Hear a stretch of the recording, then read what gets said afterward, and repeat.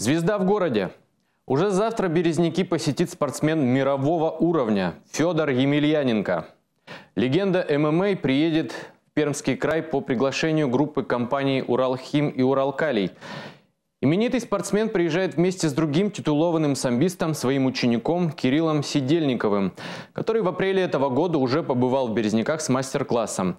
В планах у бойцов встретиться с молодежным активом филиала «Азот» компании «Уралхим» и даже спуститься в шахту «Уралкалия». Посмотреть некоторые городские достопримечательности, но главное, конечно, объехать спортивные секции и встретиться со спортсменами Соликамской и Березняковской школ боевых искусств.